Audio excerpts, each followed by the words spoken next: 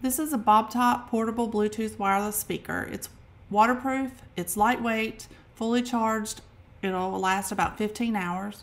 Your charging port's here on the back. The speaker output is on the top. It's small, but it's very loud. It's got a rubberized feeling for a good little grip. All your controls are on the bottom to receive calls, reject calls, listen to your music. It's got a built-in microphone. You can be about 33 feet away and it'll work. This is your C-type cable and your output for that is on the back.